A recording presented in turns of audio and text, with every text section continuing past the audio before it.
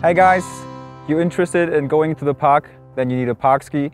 And that's uh, twin tip usually. So you can see both sides are bent up, especially when you go backwards. You don't dig into the snow, you stay on top of it. And um, usually you have a rocker, so it bends up here, a camber and a rocker on the other side. And the camber is really nice when you make landings, then it's a bit a suspension, you get a nice dynamic feel. And also when it's a bit bumpy, it's also all a bit smoother. Twin tips are actually really great for a lot of things, so that's why you can also find them on freeride skis and also on, on mountain skis.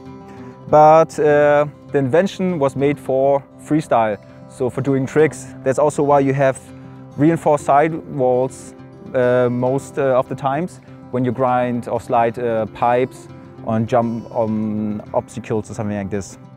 So then we have also two ways of mounting it.